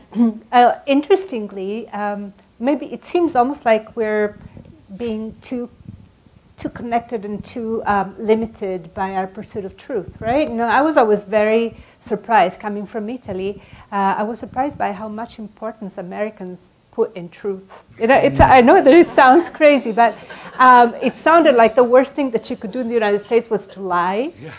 And there's much worse things you can do in Italy than lying, you know. So it's so uh, seriously. I can totally speaking, relate to that. Though. You relate that, to that's that why too, I, right? I mentioned the brown Egypt Austria thing. What I was trying to articulate is I went from a world where not just lying, but other things were very permissible, in fact, encouraged and probably normal. Yeah, you know, yeah, It's like expected imaginative. even. Yeah. Can What, I? Paul? Yeah, you can. I just want to, uh, uh, Yeah. just a short question of Ahmed and Maria, because I think they're the ones who are most sympathetic to the idea of perspectival truth rather than objective truth. When, well, yeah, She's not. I just nodded As long as we don't go into relativism, which I, I, I should have been more clear. That is. well, because I think you said, you, you see, the, when you say there are many, there are many truths, um, that to me, there's, there's, there's only one thing that's the property of truth. There are many kinds of proposition, of course, there are moral propositions, aesthetic, physical, and so on, but they're not different kinds of, when they're true, they're true all in the same way, because they just say of what is that it is. There are also maybe some claims that we make, some people dispute whether morality is the realm of the true and the false, or whether it's just the realm of imperatives. But I just wanted to ask, for those who are sympathetic, you know, when, when Kellyanne Conway says, I'm presenting alternative facts, but you're very sympathetic to the idea of my truth versus your truth, what, what criticism do you make of her?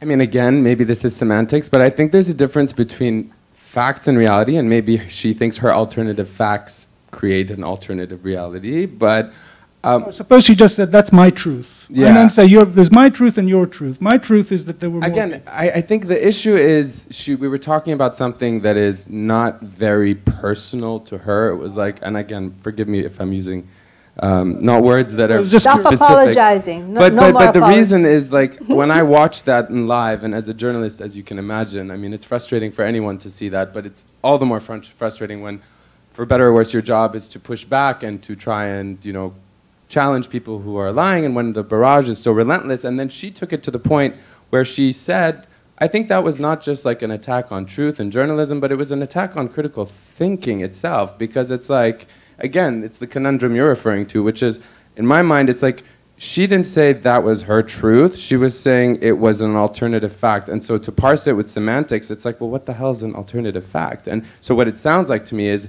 it's a fact, I don't know how you would define alternative, but it's like where there's a choice in which you can choose to prove whether something's verifiable. Whereas in truth, absolute truth at least, you don't have a choice, right? Truth isn't a choice. And, and, and it's.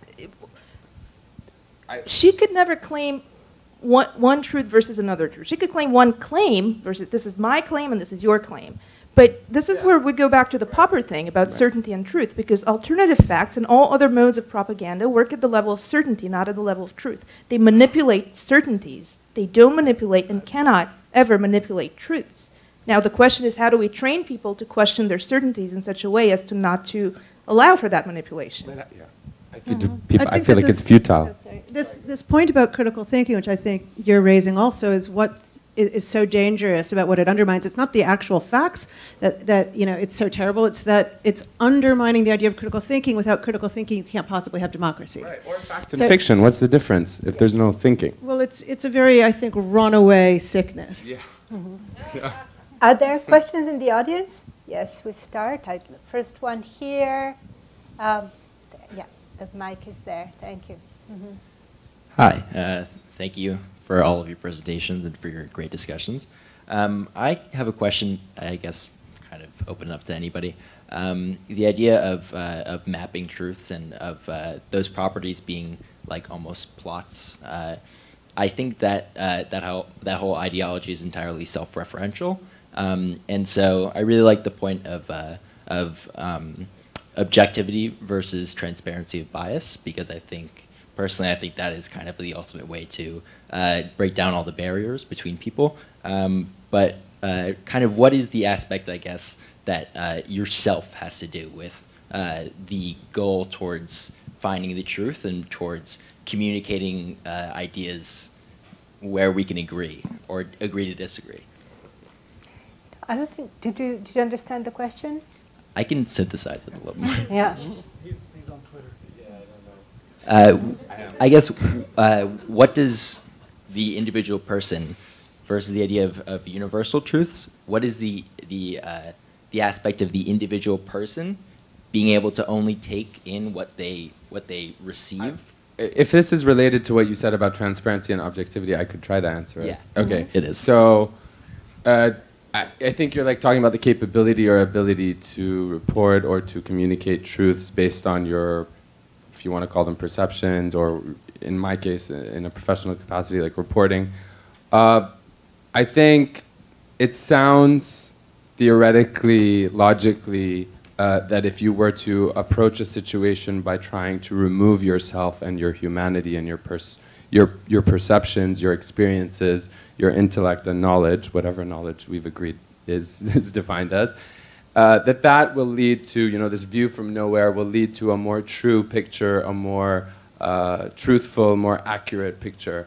And now I'm speaking uh, in a construct that's like specifically about journalism, but that when I chose to, at a very young age, 21, to pursue journalism, it was really hard for me to wrap my head around how that should be not just an expectation or a strategy as a journalist or as a reporter or a storyteller, but it's, it's something that all of a sudden people were championing in a way that I didn't understand because the way I process, and hopefully this gets to your question, the way I process information is very, not just emotionally, but it's very personal. It's, it's about context, my experiences, past, immediate. And so I realized no matter how hard I tried, I would inevitably fail to remove myself. And then I, then I started questioning the actual purpose of removing oneself. And is that, you know, is that, is that, are we kidding ourselves? Are we being in, genuine? I, I, felt disingenuous each time I tried. Um, and I figured, especially at these times, like, you know, if you want to reach the truth, whatever the truth is, I didn't imagine it'd be so hard to, to specify, then you should know your own truth. And that was my truth. And I think that if more people who are in the business of storytelling were to feel comfortable with that, um, that it would hopefully lead to them being able to depict things as accurately as possible based on a kind of comfort with not fearing that they're going to reveal that they have either some sort of bias, whether is this inductive versus deductive. no. Uh, Let me just make a recommendation. Sure. Um, yeah. Carl Sagan actually outlined this in a wonderful thing called the Baloney Detection Kit, which is a toolkit for critical thinking that equips you, the individual person, with the tools of how to make, how to discern the most truth with the information you're given, basically. Well, I love that. The Baloney Toolkit. Uh, sorry, the lady behind there. Yeah, the, yeah, on the fourth. Yeah, and then I'm gonna come back to you. Yeah, I see. Hi, sorry. thank you. That was such an interesting panel, such an interesting way of curating it. Um, I was. It seemed to me that we were conflating a lot of definitions in the same terms, and also not using words like propaganda, or honesty, or dishonesty, that also relate to this conversation. And also, one more observation before I ask the question. It seemed that the timing of, of having this conversation may drastically change it. So if we were having it um, even hundreds of years ago, that conversation would be so different when uh, the definition of what everybody was seeing was much more in the eye of a single sort of type of um, uh, viewer, right? Because you had more uh, power concentrated in a single type of viewer versus now where you have so much more personal information coming um, uh, and, and personal reporting uh, coming into the, the same conversation. So, so where I'm coming with this is I wonder whether um, part of defining what we're comfortable with calling the truth, so not philosophical, but just what what is comfortable, what is alternative facts, which makes people cringe, versus what is comfortably discussed as, you know, I have a different view on the truth. Whether that depends in large part on motivation behind the statement. So whether okay. it is acknowledging your own personal bias or stating it like a scientist would, uh, I have a thesis and I'm willing to have an open conversation about that thesis versus sort of propaganda. Anybody wants to tackle this? It's more like a declaration. Well, uh, yeah. No, I was just going to say something. I don't. I hope this isn't too orthogonal, but um, it's sort of folding in a couple of the points that were brought up, and maybe some things that Maria was talking about. And I know that we've talked about off offline. Um, and I do believe that we all have a theory of the world. I just think that that's how we evolved, and we can't process all the information we have, so we have theories of the world, and and things mean different things in the context of those theories of the world. So, in that sense, I completely understand this idea that there are things that are true for me that aren't true for other people. And they have to do not with the raw materialistic fact, but but with the meaning that I impose and the map, in some sense, that Maria describes, which is used not just to understand each other, but to understand this auditorium and to understand this conversation, to understand the historical context in which we're speaking. And so, yes, I think that as in, in a different historical context, we have a different theory of the world. And hopefully, the healthy attitude is such that we are continually revising that theory in the face of new evidence and doing so systematically and devotedly in order to keep the theory from becoming opinion. But, but this devotion to systematically factoring in new evidence and revising and refining the theory, I think that is our best bet at truth. And to some extent, the best we can ever hope for is kind of asymptote towards, you know, the same reality. It's kind of the best that I think we can hope for. The no, there was the, the lady with the. Oh, you're not raising your hand anymore. Then. There's a oh yeah, There's it a was crutch there. there waving. I think Huh? there's a crutch. There's Someone's also waving crutch. a I've crutch. They the might crutch just be because- threatening us, though. Where is the microphone? I don't know, my Hi there. ladies. Yeah, no, I wasn't threatening anybody. I give Um, up. I give. I, I give the microphone. Microphone ladies decide because I can't Oh, control do them anymore. people have the microphone? Wait. Yeah. Oh, go ahead. Whoever wants to go can go. Okay, okay, I'll go ahead then. I'm just wondering what is the part of morality when we talk about social truths. And we know that depending on our standpoint, that can vary widely. So it's a question a little bit for Paul, who was speaking of absolute truth. And I am wondering about scientific truths, and I think I'm following up on what was said just by the lady before now who spoke scientific truth evolves in time. It is not immutable, and certain truths are contested or are challenged or are uh, defeated over time. Likewise, the moral as I think we're conflating in when we speak truth, social truth, as in opinions, and scientific truth.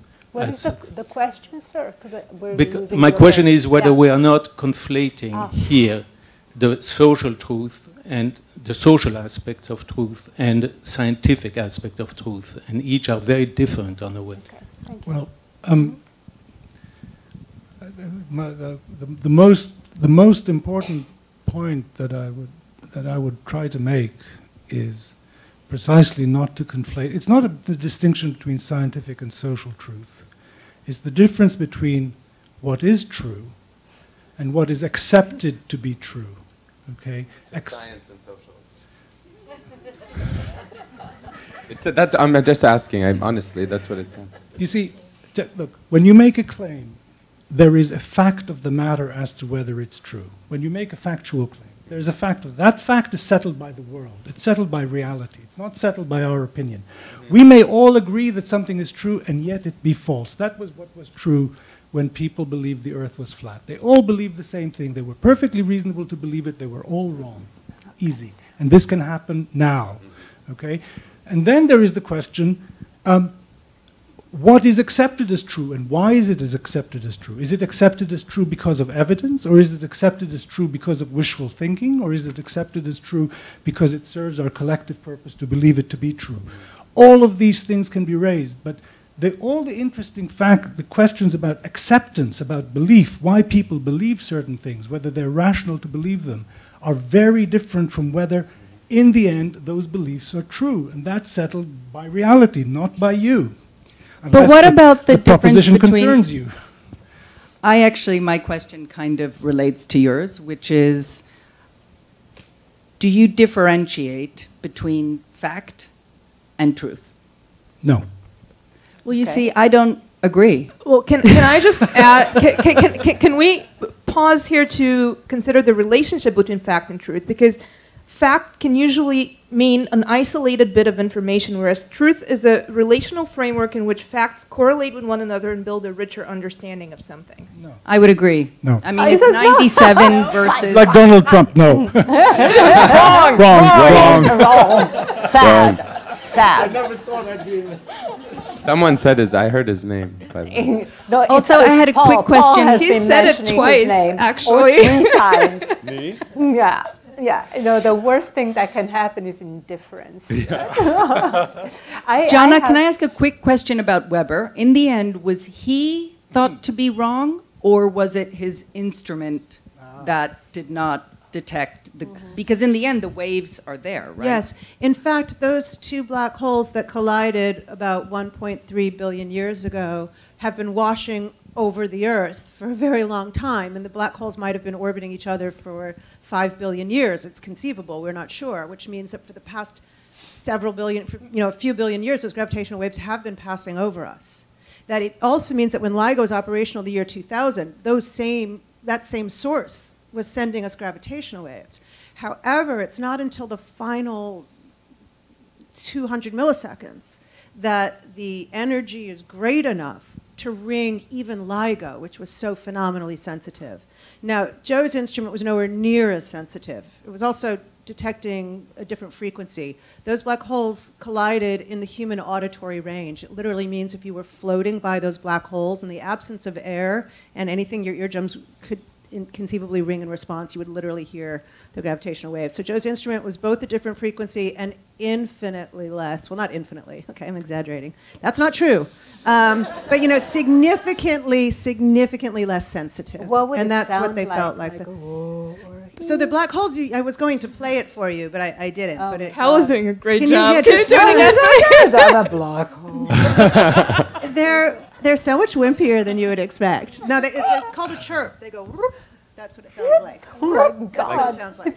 And it and it is right. in that the human animation is range. so beautiful. Mm. Yes, that is. I should emphasize a a proper. Fully relativistic mathematical simulation as opposed to a cartoon. And what it shows is what the bending of the path of light on the curved space looks like if you had a galaxy behind them. So if there's Fantastic. no other sources of light, I'd be showing you a black slide. so you have to have the, some kind of galaxy A or green source screen. behind it. Yeah, right. so, um, so that's a full mathematical model of what the collision would have been like had we slowed it down drastically. I'm going to get one last question and then we'll continue in the drinks. Because, yeah, that, do you have the microphone? Did they give it to you? Yay. He was holding up his hand for a while. I had seen him. Yeah. Uh, thank you. Just two quick offerings. Uh, I am a writer of long form nonfiction, uh, and I was once on a panel with Ian Frazier, Sandy Fraser, and we were asked whether we read novels, and I said the novels I read, and, and he said, I don't read novels. And I looked at him kind of stunned. I said, What are you talking about? He says, Well, you know, in a novel where it says Joe was walking down the street, all I can think is, No, he wasn't. which is, uh, which is uh, but having said that, I often taught a course called The Fiction of Nonfiction, which is about all the fictive elements of nonfiction. And I required of my students, and it drove them crazy because they were uh, half of them were journalism students, that they use an I voice. And I think, by the way, that's one of the things that hasn't been talked about here is voice. And you use, yeah, there you go. Yeah, and also and you use the the I voice not out of megalomania, but out of modesty. Mm-hmm. And that comes back to the point is that this is one person's best attempt to get to the truth. And over time, over a career, you develop another word that hasn't been used here, authority, or not. Um, which is also Mm-hmm. Well, it's almost like trust. Yeah, I mean, it's, it's kind of what I was saying is what makes you authoritative is not appearing to be impartial. What makes you authoritative Exactly. is being transparent, being accountable, and being honest about your voice, to use Right. a word you wanted Right, us to use. Right, right. And, uh, and I just think, Mm-hmm. and the last point I would just make very quickly is that you have authority and you have authenticity. Authority is something you accrue over time. Authenticity is something you achieve at little moments and you fall away from. That was an. auth- and, What were you about to say, Maria? I was going to say that I don't want to embarrass Janna, but her novel, uh, which is fantastic, and it's called A Madman Dreams of Turing Machines, it draws very heavily on the biographies of Alan Turing and Kurt Gödel, but it uses fiction in a way to raise questions about the meaning of their lives and the meaning of their ideas and their mathematical and, and philosophical legacy. And Wittgenstein makes an appearance and all that in a way that if you just read the biographies, the facts of these people's lives, you wouldn't get that far. So the fiction is not uh, It's like lies. It- it- it's it's Yeah. an amplification of precisely that lacuna between truth and meaning that cannot be done in any other way, and it's done so beautifully. Nice. Thank you, Maria. So, Mm, you are not the next in line, but no. okay, okay. No. Get, wait for the microphone, though. Yeah. Mm-hmm. Sorry, if everyone just down the line, I just adored this presentation. Mhm. So who do you follow on Twitter and social media? That's just Maria Popova. we all follow each other. We're okay. No, no, but I mean, other incestuous. side of each other. Interesting to just your answer to, to who do you follow in terms of social media and where you get your news and what drives you to these individuals. It's a little bit of a big question, and it's one that you could solve by going onto their Twitter accounts and Yeah. find it. But no, this is a question that we can talk about later on. But, yeah, go ahead. I'll say I actually have been off not looking at Twitter in the last, I would say, two months because the the kind of had a hard vortex of opinions reacting to opinions makes it very hard to to get onto any truth. And most uh, people I follow have been dead for a long time. So Yeah, uh, yeah, yeah. No, it, it, it's, it's, it's so true in, in the sense that uh, I personally had been feeling silly about posting anything about design, which is what I've always posted, because there are such important things going on that I would feel frivolous. And at the same time, I don't know, I haven't done No, much. keep posting, please. No, uh, no but I, I want to ask, thank you for all your questions. I want to ask one last question that demands a very, very quick answer of each of you. Maria was talking about Virginia Woolf having the seizure of truth because she understood that the flowers was the mound and the earth and the lawn, etc. Did you have uh, momentary, instantaneous seizures in front of something that made you feel like you were really grasping the truth? Very quickly, Ustaz Ahmed. Um, I can't think of anything off the top of my head for, Mhm. for in, you know for sake of time, but I will tell you that that short video that I shared and other encounters I've had in the last few months, especially in the past year, have left me. When I say disillusioned, I mean it. Extre- deeply disillusioned because it seems like everything you're describing about why you couldn't be on Twitter the past two months and like how difficult it is. When you see that start playing out in reality in a space that you've lived in for 10 years, that you would have never imagined something to be unfolding as it was truly in front of your eyes. Or, it's, um, I, I'm speaking specifically about protests. It, it, I think I did have maybe one of those Yeah, no, it seemed to me from that video. You're saying you're disillusioned because we are. Uh, it, it's almost a feeling of efficacy. Like, is it even worth me doing this? I feel like all of a sudden, like, an, it's a bit of an existential thing. Like, Yeah. you're going through the motions of journalism, this side, the other side, the polarization, and how it's manifesting itself in people's opinions, people's perceptions of each other in real time.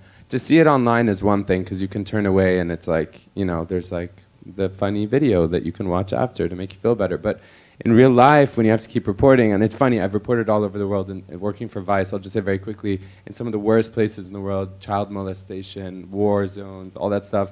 And I have to tell you, like the last few months here in the U.S. have left me feeling these kinds of things much more so than I did even in those places. I think because of context, ah, um, because of the relativity, and, and this isn't. It's But keep pushing on trust. I think that's, Yeah, I that's agree. your secret. I Paul, agree. Yes. seizure. Yes, Your seizure. seizure. Many seizures. Um, Many seizures. Yeah, I mean, one. You don't need seizures, you know already. yeah. Uh, these. There are these aha moments when you understand No, something. I will never say that expression. I hate it with all my heart. moment? Yeah, my God. Yeah. Seizure. Seizure. Seizure. Seizure is better? Mu- much better. Not to me, but anyway, um, I don't know, when you understand what it is about consciousness that makes it difficult to see how it could be a purely physical phenomenon. That was, uh, Emily. So I don't have one specific example, but going back to what um, the journalism professor said, I think sometimes the only truths that I feel like I can obtain right now are individual truths. Like sometimes, and I think sometimes I've been talking more about, I've been using the word fiction, but it's just stories and people who are able to tell a compelling story, whether it's through fiction or art or film or whatever. Jenna? Well, I, um, I tend to be very mathematically uh, oriented in my work. So I would say that for me it could be something very calculational. And um, there's nothing more gratifying than believing something or having an intuition that something is true and proving yourself wrong mathematically and force, you know, going through the struggle of seeing it anew and reassuring, shedding some old mm-hmm. intuition and accepting something radically new. And I, I think the strongest time I had that experience was with relativity when I first learned relativity. I used to think of myself as before relativity and after relativity. Maria. Um, in December, I was uh, visiting a friend in San Francisco, and I was working outside in her garden, and my peripheral vision and this kind of creaturely instinct was caught on something, and I look up and I see this little shiny red leaf twirling, and at first I thought, oh, it's falling, it's on its way down, but it just kept twirling, and it was astonishing. And so I couldn't get close enough. Eventually, I kind of circle around, and the sun hit at just the right angle to illuminate a very fine spider's web holding it.